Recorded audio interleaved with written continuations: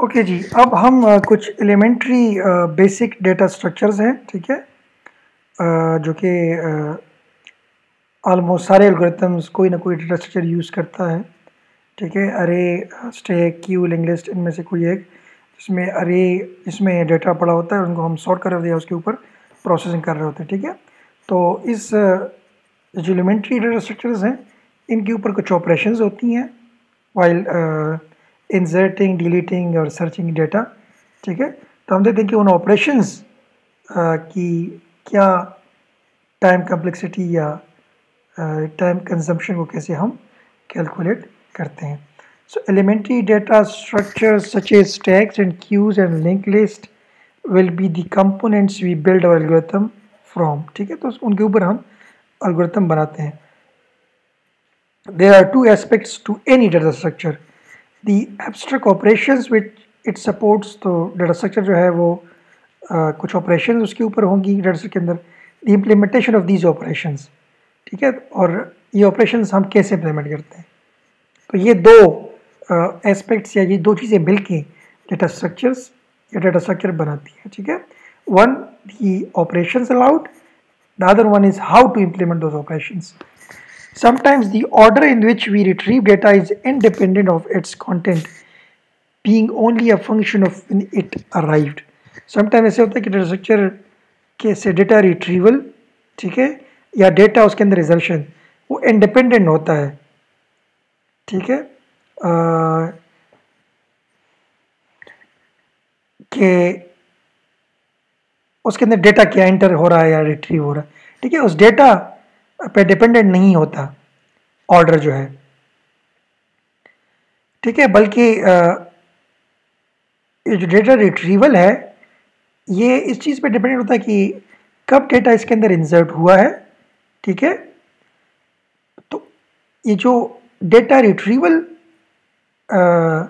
है, ठीक है, ये इसका जो ऑर्डर है that is fully dependent on the order of insertion कि जिस ऑर्डर में डेटा इंसर्ट हुआ है, ठीक है, उस इंजर्शन पे डिपेंडेंट होता है। क्या इंसर्ट हुआ है, उस पर डिपेंड नहीं कंटेंट पे डिपेंडेंट नहीं होता, ये रिट्रीवल बल्कि कब इंसर्ट हुआ है लेकिन लेट से अगर पहले ए हुआ था और फिर बी हुआ है तो एक खास डाटा स्ट्रक्चर होगा, उसमें क्या होगा, उसमें क्या क्या बी चूँकि बाद में हुआ है तो बी बाद में रिट्रीव किया जाएगा, ठीक है? या दूसरा डाटा स्ट्रक्चर नहीं, जो पहले हुआ है, उसको बाद में, और जो बाद में, उसको पहले। तो अब ये कंटेंट नहीं कि क्या इंसर्ट हुआ है, बल्कि उस पर फोकस है कि कब हुआ है, ठीक है? तो ऐसे डेटा स्ट्रक्चर्स हैं जो कि इंडिपेंडेंट ऑफ़ दी डेटा होते हैं rather they are dependent on the time of insertion ठीक है? तो कुछ डेटा स्ट्रक्चर्स हैं जो कि इंडिपेंडेंट ऑफ़ डेटा होते हैं, ठीक है? और ऑर्डर जिस ऑर्डर में इंसर्ट हुआ है, उस पर डिपेंडेंट है, उनमें एक स्टेक है, दूसरा क्यू है, और तीसरा लिंक लिस्ट है। Okay okay. नाउ स्टेक क्या चीज़ है? A stack is an order collection of items into which into which new items may be inserted and from which items may be deleted at one end only तो आप एक and से stake से item उसके अंदर डाल भी सकते हैं और निकाल भी निकाल भी सकते हैं। ठीक है? सिर्फ़ वन एंड से। Call top of the stack और जिस एंड से आप एलिमेंट्स निकाल सकते हैं या इंसर्ट कर सकते हैं, ठीक है? उस एंड को हम कहते हैं कि ये स्टेक का टॉप है। Okay deletion and insertion can only be done from top of the stack ठीक है? इंसर्शन कोई डेटा इंसर्ट करना स्टेक में, उसको कहते हैं पुश ऑपरेशन और डेटा निकालना स्टेक से, उसको कहते हैं पॉप ऑपरेशन ठीक है? तो स्टेक के अंदर दो किस्म के ऑपरेशन हो सकते हैं। या डेटा पॉप किया जाएगा ठीक है? या डेटा पुश किया जाएगा। ठीक है? Okay stack is also referred as last in first out ठीक है? तो स्टेक को आ, ये भी कहते हैं कि लास्ट इन फ़र्स्ट आउट इसका मतलब है कि जो एलिमेंट सबसे लास्ट में इन हुआ था, ठीक है, वो सबसे फ़र्स्ट निकाला जाए, क्योंकि आप देखिए टॉप से ही आप एलिमेंट इंसर्ट या रिट्रीव कर सकते हैं। तो डी जो है वो पहले देखें ए आपने इसके अंदर इंसर्ट किया, फिर बी फिर सी फिर डी आप निकालेंगे क्या? ए तो आप निकालेंगे क्योंकि एल तो सबसे एंड में है, पहले डी आपको निकालना पड़ेगा। ठीक है तो डी सबसे एंड में इंसर्ट हुआ था, और सबसे अर्ली या सबसे पहले आप इसको रिट्रीव करेंगे। ठीक है, ये आप स्टेक जैसे प्लेट्स नहीं होती, उसका स्टेक बना होता है ना? तो अगर आपने लेट से एक दूसरे के ऊपर प्लेटें रखी हुई हैं, और अब आपको प्लेटें चाहिए तो आप जो सबसे टॉप पे आपने रखी है, सबसे एंड पे, वो प्लेट आप उठाएँगे और उसको यूज़ करेंगे। ठीक है तो यही इसीलिए इसको स्टैक कहते हैं। तो स्टैक में जो सबसे लास्ट में एलिमेंट है एलिमेंट इंटर होता है, वो सबसे पहले रिट्रीव होता है। Empty mean stack underflows तो जब स्टेक एम होता है इससे मतलब इससे अंदर कुछ भी नहीं है। और अगर स्टेक के लिए कुछ लेट से मेमोरी अलोकेट हुई हुई है, ठीक है, और उससे ज़्यादा एलिमेंट्स आप उसमें डाल रहे हैं तो फिर उसको स्टेक ओवरफ्लो कहते हैं, ठीक है? और अगर स्टेक एम है और आप उससे कुछ निकालना चाह रहे हैं तो फिर उसको स्टेक अंडरफ्लोस कहते हैं।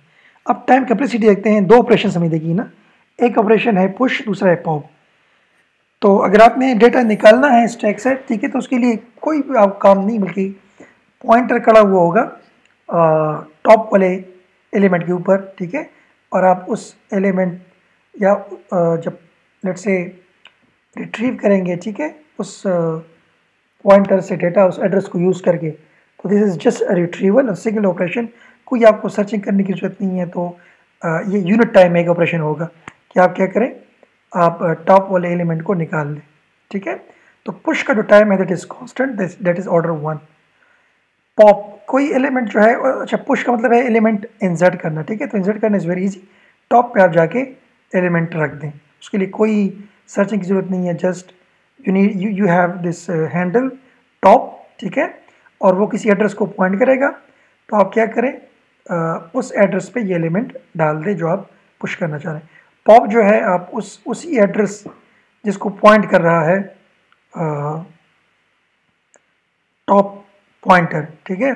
उसको आप पॉप कर दें, उसे एलिमेंट निकाल के रिट्रीव कर लें तो ये भी सिंगल यूनिट ऑपरेशन है, ठीक है?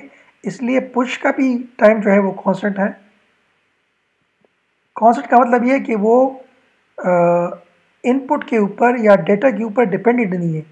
चाहे आपके स्टेक में 50 लाख आइटम्स हो चाहे 50 करोड़ आइटम्स हो, ठीक है? पुश जो है वो क्या करेगा? एक एलिमेंट उसके टॉप पे रख देगा। तो 50 लाख के लिए और 50 करोड़ के लिए, ठीक है? ये ऑपरेशन ऐसे ही रहेगा कि जस्ट आपने उसके ऊपर रखना है। लेकिन अगर आप इसमें सर्चिंग कर रहे हैं, ऐसे एग्ज़ाम्पल दे रहा हूँ तो सर्चिंग में मेरे 50 लाख में सर्चिंग और 50 करोड़ में सर्चिंग उनमें डिफरेंस है। लेकिन अगर आप आइटम रख रहे हैं टॉप पे ही रख रहे हैं तो चाहे 50 लाख आइटम्स हैं या चाहे पचास करोड़ आइटम्स हैं, ये ऑपरेशन जो है, ये सिंगल यूनिट टाइम लेगा। इस तरह आपने टॉप वाला आइटम निकालना है। तो चाहे पचास आइटम है, चाहे पचास लाख है तो आप टॉप वाला आइटम उठाएँगे, उस पर यूनिट टाइम ही लगेगा। तो लिहाजा पुश और पॉप दोनों का जो टाइम है दैट इज़ कांस्टेंट ठीक है, और ऑर्डर वन है।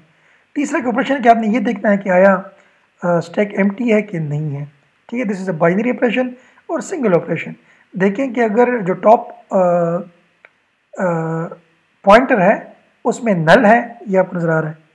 तो अगर इस पॉइंटर में नल होगा इसका मतलब कि स्टैक एम है। अगर नल नहीं है नॉन नॉन नल कोई वैल्यू है तो ये क्या है? ये एम नहीं है। ठीक है तो वो भी सिंगल यूनिट ऑपरेशन है। लिहाजा उसकी भी टाइम कॉम्प्लेक्सिटी जो है वो ऑर्डर वन तो ये स्टेक्स रिलेटेड ऑपरेशंस थी और उनकी टाइम कॉम्प्लेक्सिटी ओके जी uh, दूसरा जो एलिमेंट्री डेटा स्ट्रक्चर है वो है queue so a queue is a linear data structure which follows a particular order first in first out तो क्यू में जो सबसे पहले इंटर होगा वही सबसे पहले निकाला जाएगा। ये उसी क्यू के आ, आ, के मुतरदफ है ठीक है? जैसे आप बैंक में खड़े होते हैं ना तो सबसे पहले जो बंदा आ, आया होता है वही उसको एंटरटेन किया जाता है। स्टैक में उल्टा है। जो सबसे पहले आया होता है ठीक है? ये प्लेट्स की स्टैक होती है। सबसे एंड पे आता है वह सबसे पहले यूज़ होता है। क्यू में जो सबसे पहले आया होता है वही पर सबसे पहले यूज़ होगा। ठीक है? So a good example of a queue is any queue of consumers for a resource where the consumer that come that came first is served first. In a stack, we remove the item the most recently added. In a queue we remove the item the least recently added ठीक है? तो ये देखिए नल है। ठीक है? और आप एलिमेंट क्या करते हैं? एक एक पॉइंटर एंड में होता है, एक पॉइंटर स्टार्ट पे होता है। स्टार्ट वाले पॉइंटर कहते हैं फ्रंट एंड वाले को कहते हैं रियर ठीक है? तो रियर से एलिमेंट आप इंसर्ट करोगे, ठीक है? और फ्रंट से एलिमेंट आप कंज्यूम करोगे या रिट्रीव करोगे। तो यहाँ से जो एलिमेंट ई e जो है, वो सबसे एंड में है ना तो इसकी सबसे एंड में बारी आएगी। अब इसके बाद आपने दूसरा इंसर्ट करना है तो आप इंसर्ट करोगे रियर के साथ। तो डी इंसर्ट करके सॉरी एफ़ इंसर्ट करके रियर एफ़ को पॉइंट कर रहा होगा तो एफ़ की बारी ई e के बाद आएगी। तो अभी जो आइटम एंड में आपने ऐड किया, उसकी बारी सबसे एंड में आएगी। ठीक है तो ये क्यू ओके क्यू में जो है if an empty queue is deleted अगर आप क्यू डिलीट करना चाह रहे हैं तो ये होगा कि ये क्यू अंडरफ्लो है। कोई आइटम नहीं है, और आप रिट्रीव कर रहे हैं या डिलीट कर रहे हैं। If rear of the queue exceeds n the queue overflows let's say अगर आपने लिमिट रखा हुआ है, कि इतने एलिमेंट्स क्यू में आएँगे, इससे ज़्यादा नहीं, और वो लिमिट एन है तो अगर let's say user n minus I mean n plus one या इन से ज़्यादा आइटम क्यू में डाल रहा है तो हम कहना क्यू ओवरफ्लो हो रहा है। अच्छा क्यू में आइटम इंसर्ट करने को कहते हैं एन क्यू और डिलीट करने को कहते हैं डी क्यू ठीक है? तो एन क्यू और डी क्यू जो है, ये भी I mean single unit operation है, ठीक है? क्योंकि आपने आइटम निकालना है तो चाहे 10-50 करोड़ एलिमेंट है आप फ्रंट जिस एलिमेंट को पॉइंट कर रहा है वो रिट्रीव कर दें।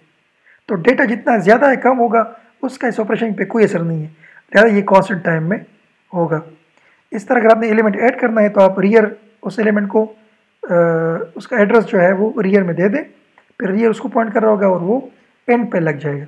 तो चाहे इधर जितने भी आइटम्स हों ठीक है? लेकिन एंड पे आइटम इंसर्ट करने पर वही टाइम लगेगा कौन टाइम लगेगा। इसलिए एन क्यू और डी क्यू का टाइम जो है, ये जो ऑपरेशन है, इनका जो टाइम है, वो कांस्टेंट है। ऑर्डर वन अच्छा जी, इसके बाद एक और डेटा स्ट्रक्चर है उसको कहते हैं लिंक लिस्ट ठीक है? लिंक लिस्ट ऐसा डेटा स्ट्रक्चर है, इसमें एलिमेंट्स को एक्सप्लिसिटली ऑर्डर किया होता है। मतलब क्या है? अरे है, उसमें एलिमेंट जो है, वो क्या है?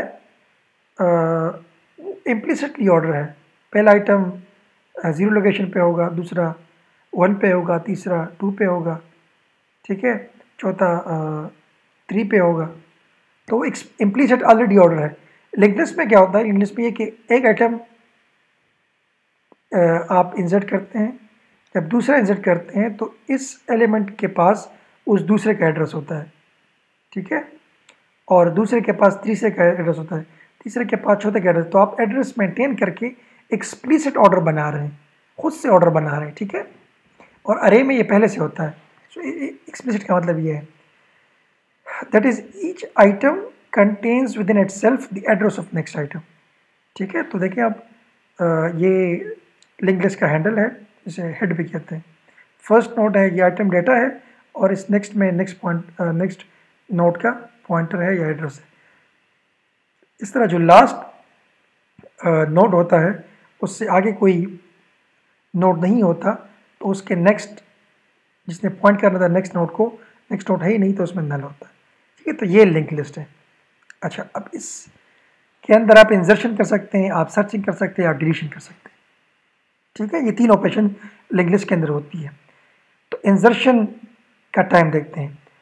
अगर तो आपने हमेशा स्टार्ट में ही इंसर्ट करना है, इधर तो वो फिर टाइम कांस्टेंट होगा ऑर्डर वन क्योंकि आपको कोई अंदर जाने की ज़रूरत नहीं है, आप लिंक इसको सर्च करने की ज़रूरत नहीं है। और चाहे एलिमेंट जितने भी हो एन हो, एक करोड़ हो, दस लाख हो, ठीक है? आपका ये जो इंजर्शन ऑपरेशन है, वो कांस्टेंट टाइम लेगा क्योंकि आपने सिर्फ़ स्टार्ट में ही इंसर्ट करना है ठीक है?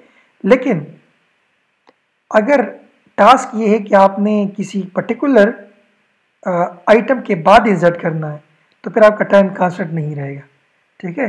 फिर आप सर्च करेंगे, उस आइटम तक जाएँगे, ये टाइम देखेंगे, ये देखेंगे ये देखेंगे और फिर उस आइटम तक जाके, उस आइटम के बाद आप इंसर्शन करेंगे तो उसमें सर्चिंग इन्वॉल्व है।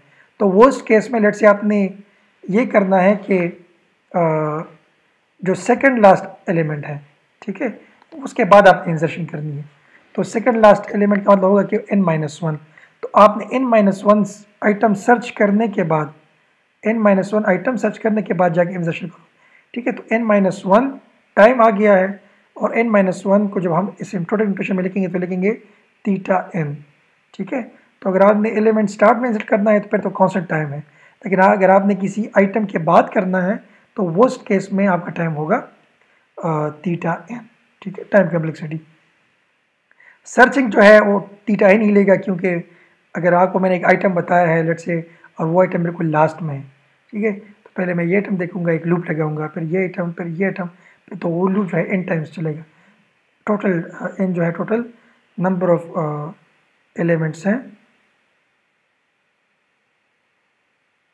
Total number of elements in the link list ठीक है? तो सर्चिंग का टाइम लिंक लिस्ट में सर्चिंग का जो टाइम कैपेसिटी वो ऑर्डर है डिलीशन जो है, अगर आपने सिर्फ़ स्टार्ट से डिलीट करना है, ठीक है? तो फिर वो कांस्टेंट टाइम में होगा। मतलब आप जब भी डिलीट करेंगे तो स्टार्ट से ही करेंगे तो बस चाहे वो पचास लाख आइटम्स हो या दस करोड़ आइटम्स हो आपका टाइम कांस्टेंट ही रहेगा कि आपने स्टार्ट से एक एलिमेंट उठाना है बस। तो उस आगे जितने भी आइटम्स हों, उसका इसके ऊपर कोई असर नहीं। तो लिहाजा if you if you if you always delete item from the start of the link then time is constant that is order one लेकिन अगर आप किसी ख़ास आइटम को सर्च करके फिर डिलीट कर सकते आप ये यार, कि ऐसा आइटम जिसकी वैल्यू इसके अंदर डेटा जो है वो ट्वेंटी फाइव पड़ा हुआ। फिर आपको सर्च करना पड़ेगा और सर्च का जो टाइम है, उस डेटा पे जाके उसको डिलीट करना पड़ेगा। तो सर्च का जो टाइम इसके ऐड हो जाएगा तो फिर ऑर्डर एन लिहाजा अगर डेटा हमेशा स्टार्ट से डिलीट करना हो, फिर तो कौन सा टाइम लगेगा किसी खास लोकेशन पे जाके डिलीट करना हो तो फिर वो थीटा एन होगा। ठीक है जी तो हमने इंजर्शन या आइटम एडिंग डिलीटिंग और सर्चिंग जो टाइम कम्प्लेक्सिटी है लिस्ट की, वो हमने कैलकुलेट कर दी है। ओके जी, अब आता है ओके जी, एक कॉन्सेप्ट उसे कहते हैं हैशिंग ठीक है? तो हैशिंग बेसिकली सर्चिंग को फास्ट करने के लिए एक टेक्निक यूज़ होती है। Hashing is a process of mapping a large amount of data, item small small, smaller with the help of hashing function ठीक है? तो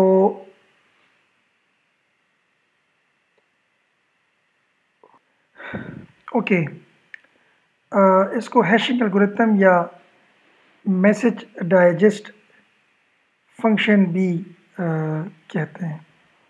ठीक है? It is a technique to convert a range of key values into range of indexes of an array Okay. Uh,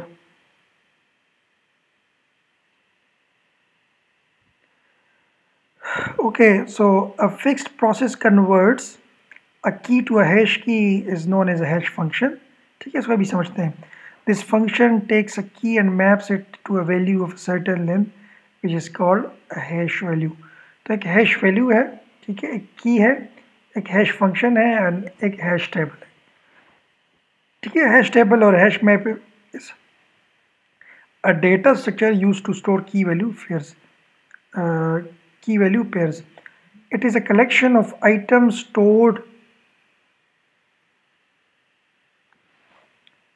it is a collection of items stored to make it easy to find them later It uses a hash function to compute an index into an array of buckets or slots from which the desired value can be found. Okay जी तो चलिए इसको समझते हैं। For example आपके पास एक अरे है, ठीक है?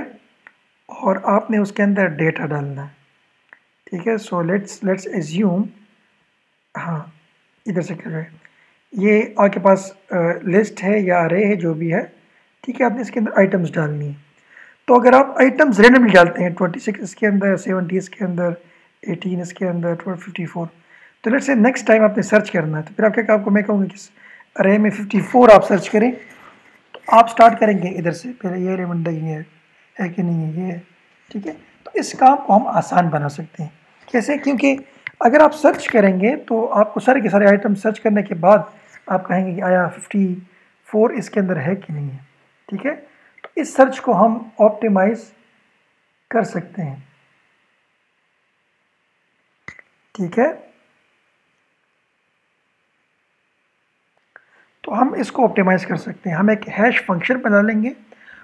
ये वैल्यूज़ उस हैश फ़ंक्शन को दिए जाएँगे और वहाँ से एक हैश वैल्यू जनरेट होगी, ठीक है? और वो हैश वैल्यू बेसिकली क्या? कोई इंडेक्स होगा। तो वो वैल्यू तो हैश वैल्यू को यूज़ करके हम आइटम उठा के प्लेस कर सकेंगे। देखें, ये वैल्यूज़ हैं। एक हैश फ़ंक्शन हम बनाएँगे, ठीक है? वो हैश फ़ंक्शन से हैश की हमारे पास आएगी, ठीक है? और ये आइटम उस की को हम यूज़ करके प्लेस करेंगे, ठीक है? जैसे कि हाँ ये एग्जांपल अभी आगे आ रही। तो लेट से आपके पास, हमने ये आइटम्स जो हैं, ये इस अरे में स्टोर करनी है, ठीक है? या इसके लिए हैश टेबल बनना। तो देखें, हर एक एलिमेंट जो है लेट से हमने एक हैश फ़ंक्शन बनाया, वो फ़ंक्शन क्या है? कि जो वैल्यू हमारे पास आ रही है, उस वैल्यू का हम मॉड लेंगे। मॉडुलस किसके साथ number of slots in table ठीक है तो स्लॉट्स कितने हैं? टेन टोटल टेन है ना? तो हम टेन से मॉड लेंगे और उस मॉड के नतीजे में जो वैल्यू आएगी, ठीक है, वो बेसिकली लोकेशन डिसाइड करेगी उस नंबर का या उसकी वैल्यू का उस टेबल में। तो लेट्स से 26 तो 26 इधर मॉड नंबर ऑफ़ स्लॉट्स कितने हैं? Ten twenty six mod ten से क्या आएगा सिक्स तो ट्वेंटी सिक्स जाके सिक्स लोकेशन पे प्लेस होगा। ठीक है? इस तरह सेवेंटी जाके सेवेंटी मॉड टेन ज़ीरो आ रहा है तो ज़ीरो लोकेशन पे। एटीन मॉड टेन एट तो एट लोकेशन पे। थर्टी वन मॉड वन तो वन लोकेशन पे। फिफ्टी फोर मॉड टेन तो फोर लोकेशन पे। नाइन्टी थ्री मॉड टेन तो वो थ्री थर्ड लोकेशन पे।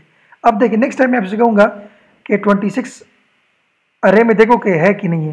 तो आप ट्वेंटी सिक्स का मॉड लेंगे तो सिक्स आएगा तो आप जाके सिक्स लोकेशन पे देखोगे। वहाँ पे अगर ट्वेंटी सिक्स हुआ इट के अरे में है, नहीं हुआ तो अरे सर्च करने की ज़रूरत नहीं है। इससे ये हुआ कि सर्चिंग जो है वो फास्ट हो जाएगी। ठीक है? तो ये कॉन्सेप्ट है हैशिंग का, जहाँ आप जो है इंटेलिजेंटली डेटा को स्टोर करते हैं किसी टेबल में, किसी लोकेशन ठीक है?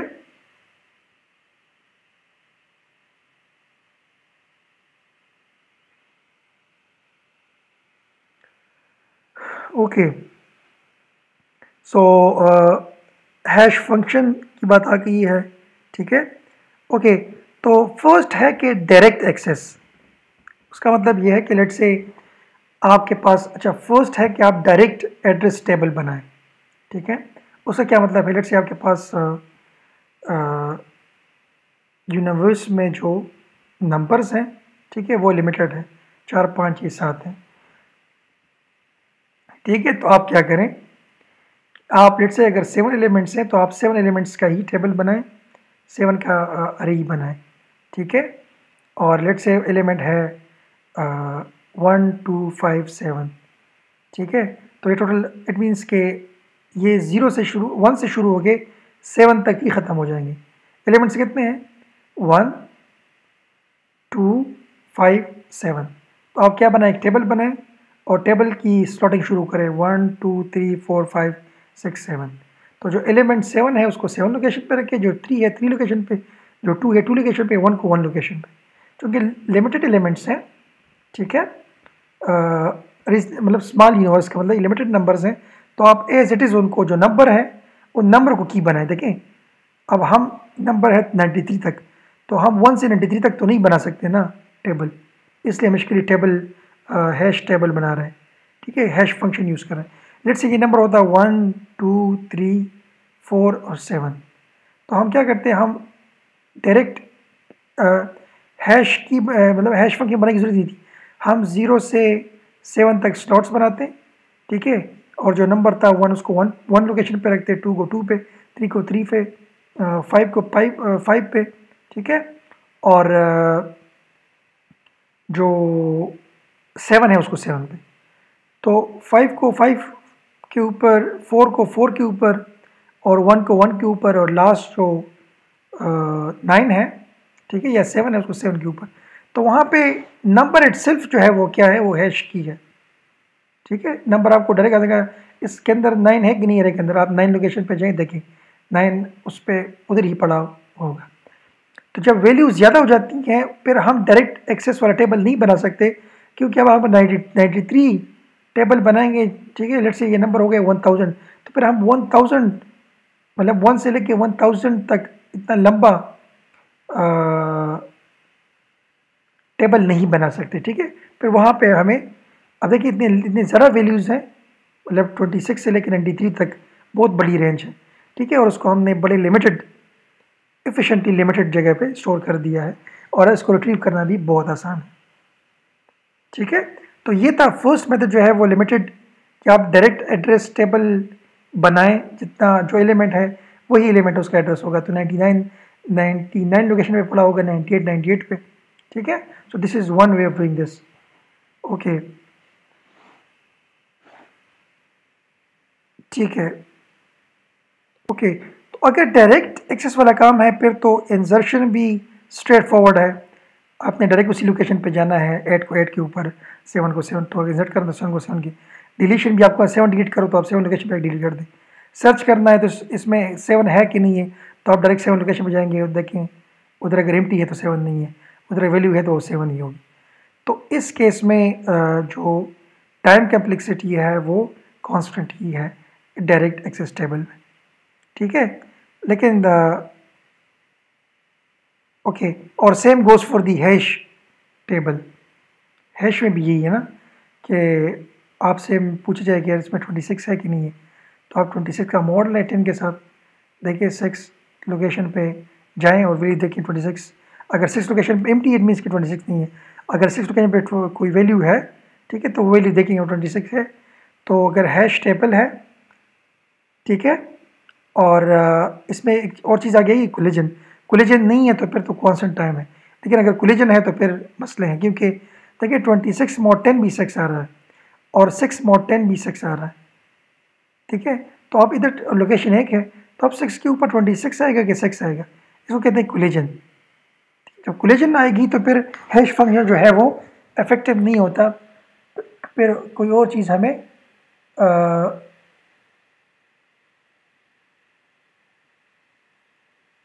कोई और चीज़ हमें देखनी होगी। ठीक है? तो हमने देखा कि डायरेक्ट में तो कौन सा टाइम है। अब हैश टेबल में कोलिजन को देखते हैं, उसके बाद इसकी टाइम कॉम्प्लेक्सिटी देखेंगे। कोलिजन का मतलब ये क्या है? As key keys are inserted in the table it is possible that two keys may hash to the same table slot वो मैंने आपको बता दी ट्वेंटी सिक्स मॉड टेन भी सिक्स आ रहा है और सिक्स मॉड टेन भी सिक्स आ रहा है। If the hash function distributes the elements uniformly over the table, the number of collisions cannot be too large on the average. But it is very likely that there will be at least one collision even for a lightly loaded table. ठीक है तो collision ज़रूर आएगा A hash function h maps the keys k and j to the same slot so they collide. ठीक है तो इधर अगर आपको collision नज़र आ जाए ये आपको नज़र आ रहा है ये नो दिस वन देखिए 52 ने टू पे आना था because 52 mod ten is two इस तरह आना था। ठीक है, लेकिन वहाँ पे ऑलरेडी 72 की भी स्लॉट बन रही है। ठीक है तो इसलिए ये इसको कहते हैं कोलेजन 52 और 72 के बीच कोलेजन आ गई है। तो इस कोलेजन को कैसे sort करेंगे, there are two basic methods for handling collisions in a hash table. One is chaining and the other one is इसको लीनियर प्रॉब्लम भी कहते हैं। चेनिंग का मतलब क्या है? आप क्या करें कि लेट से जिस तरह हमने ट्वेंटी सिक्स एग्ज़ाम्पल दिए लेट से टेन जो है टेन मॉड टेन ज़ीरो आ रहा है। तो ज़ीरो आप टेन आपने लगा दिया है ज़ीरो स्लॉट के ऊपर। फिर नेक्स्ट टाइम सेवेंटी आया तो सेवेंटी मॉड टेन भी ज़ीरो आ रहा है। तो आप क्या कर दें? आप इसी लोकेशन से एक लिंक लिस्ट बनाएँ। तो टेन लगा दे फिर जब नया आइटम आएगा ज़ीरो लोकेशन पे उसको इसके बाद लगा दे कोई थर्ड आएगा तो उसके इसके बाद लगा दें। तो जितने भी आइटम्स जिनका मोड ज़ीरो आ रहा है वो ज़ीरो के साथ एक लिस्ट बना के हम उसको आ, क्या कर देंगे? पेस्ट कर देंगे ठीक है? तो इस तरह कोलिजन जो है आप एक ही स्लॉट पे दो आइटम्स नहीं आएँगे बल्कि वो आइटम्स एक लिस्ट की सूरत में हम अरेंज करेंगे। इस तरह 32 मोड 10 टू तो टू पे थर्टी टू आया, फिर नेक्स्ट टाइम फिफ्टी टू भी टू पे ही आ रहा है तो थर्टी टू के बाद आप लगा दें। और फिर ट्वेल्व भी है ठीक है तो एक तरीका ये है।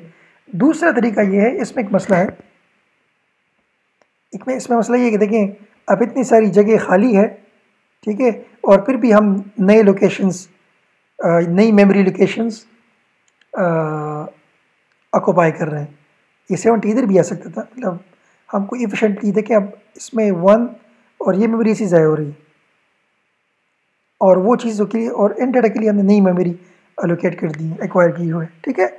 तो दूसरा है एग्ज़ाम्पल ऑफ़ ओपन एड्रेसिंग इसका मतलब ये कि आप क्या करें कि जैसे ही आइटम का मॉड आए लेट से टू और इधर वैल्यू आ गई सेवेंटी टू ठीक है?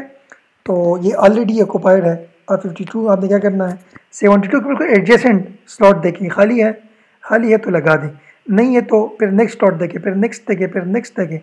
जब तक empty slot adjust empty slot ना मिले, आप क्या करें? आप जाते जाते जाते जाते जाते जाएँ और वैल्यू के एम टी स्लॉट स्लॉट पर रखें। तो इससे ये होगा कि जो मेमोरी एफिशिएंटली यूज़ हो जाएगी। ठीक है? This is one way to avoid the collision this is another way अब देखते हैं कि अब टाइम कम्प्लेक्सिटी क्या है। The worst case running time for insertion is uh, 0, 1 if node is added at the head of list. Okay.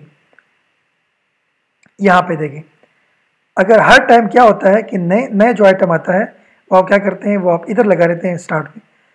Late से fifty आया तो आपने इधर लगा दिया। सेवेंटी आया तो आपने वो तो पहले से लगा हुआ है ना? सिक्सटी आया तो आपने इधर लगा दिया। तो अगर हर दफ़ा आप स्टार्ट में ही लगा रहे हैं तो फिर वर्स्ट केस जो टाइम कम्प्लेक्सिटी है इंजर्शन की वो क्या है? वो कांस्टेंट है। लेकिन अगर आप एंड में लगा रहे तो फिर आपको टेन से होके सेवेंटी से होके एंड पे जाना पड़ेगा। फिर वर्स्ट केस में लेट से अगर सारे के सारे आइटम्स ज़ीरो के पास ही है तो फिर वर्स्ट केस में क्या होगा? ये सारे आइटम ज़ीरो के सामने ही आएँगे तो फिर आपको इन आइटम सर्च करने पड़ेंगे तो फिर ऑर्डर एंड टाइम आएगा। ठीक है? और अगर आप स्टार्ट में कर रहे हैं हर दफ़ा, इधर ही आइटम इंसर्ट कर रहे हैं तो इस केस में क्या है? जो इंसर्शन टाइम है वो कांस्टेंट है order one okay in the worst case behaviour of chaining hashing chain hashing all n keys hash to same slot तो लेट्स से जो नंबर्स हैं वो हैं seventy fifty thirty twenty ten तो पाँचों के पाँचों नंबर इधर आ रहे हैं ज़ीरो के सामने। ठीक है? All in key is hash to same slot the worst case time for search is दस और theta n plus the time to compute the hash function एक तो आप हैश फ़ंक्शन कंप्यूट करेंगे, दूसरा ये कि आपने सारे के सारे आइटम्स इधर लगा दिए। ठीक है? तो फिर अगर आप आइटम लेट से एंड में नहीं लगा रहे मतलब स्टार्ट में नहीं लगा रहे, बीच में कहीं लगा रहे हैं या एंड पे लगा रहे हैं तो फिर आपको एन स्लॉट से या इन आइटम से होके एंड पे जा एंड पे आप जा सकेंगे और वहाँ आइटम लगा सकेंगे। तो वर्स्ट केस में अगर सारे एलिमेंट्स एक ही स्लॉट के ऊपर आए हुए हैं तो फिर आपको इन कंपेरिजन मतलब इन आइटम सर्च करने के बाद जाके आइटम आप इंसर्ट करोगे। ठीक है? तो worst case insertion time theta n है और बेस्ट केस रेन टाइम जो है वो so this should be now this should be worst best case not worst case this should be worst case ठीक है? और डिलीशन क्या है? डिलीशन जो है, अगर आप हमेशा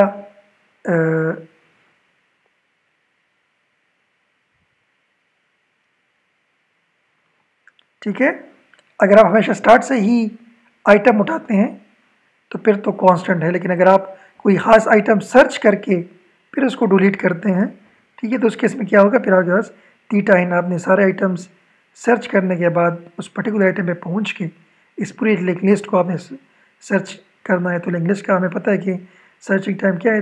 थीटा एन ठीक है? तो deletion time theta n chaining में, ठीक है? इंसर्शन टाइम बेस्ट केस क्या है अगर आप हमेशा स्टार्ट में करते हैं? तो हमेशा स्टार्ट में करते हैं तो फिर क्या होगा? फिर आप जो रनिंग टाइम है वो क्या है? वो कांस्टेंट है। लेकिन अगर आपने एंड स्टार्ट में नहीं करना, ठीक है? बल्कि किसी खास लोकेशन पे जाके या एंड में जाके करना है तो फिर वो थीटा एंड है। तो ये जी hash function hash table hash key और की वैल्यू ये सारी टर्मिनोलॉजीज़ और हैश फ़ंक्शन को यूज़ के, क्यों करते हैं? ये उसकी डिस्क्रिप्शन थी और फिर जो ऑपरेशंस हैं उनका रनिंग टाइम था। ठीक है तो इस लेक्चर में हमने स्टैक क्यू और लिंक लिस्ट और हैश फ़ंक्शन और हैश टेबल जितने भी ऑपरेशंस थी, ठीक है, उनकी टाइम कम्प्लेक्सिटी कैलकुलेट की और स्टडी की।